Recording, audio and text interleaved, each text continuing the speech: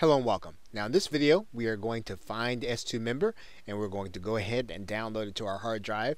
So in order to do that you'll just need to go to a search engine like Google and then just type in S2 member and then plug in and then click enter.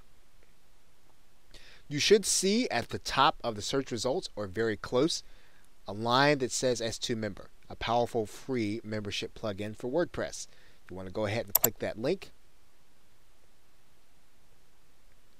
What you're going to notice then is that it has several layers to the website. What you want to do is you want to find the framework 100% free of charge.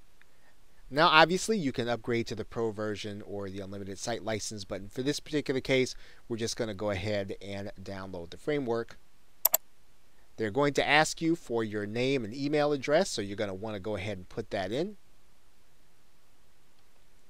S2 member is going to ask you for a primary domain, so you want to go ahead and put that in.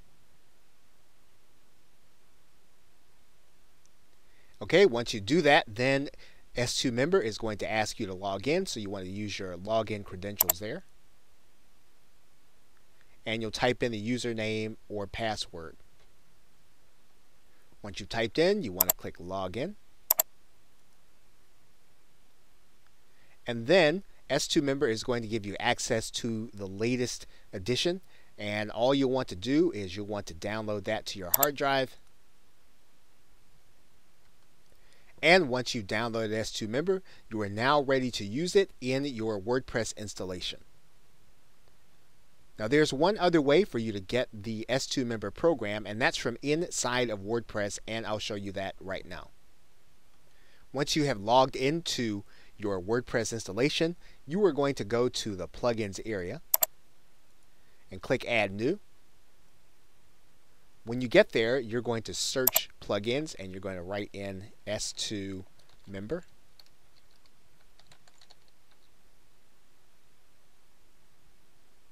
And then you'll just go to this area to find the plugin.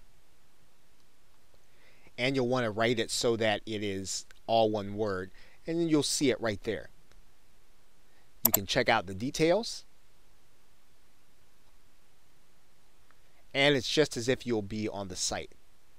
And actually, once you're here, you can actually go to the next step and go ahead and install it.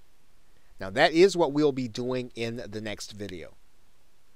Okay, so with that, thanks, and I will see you in another video.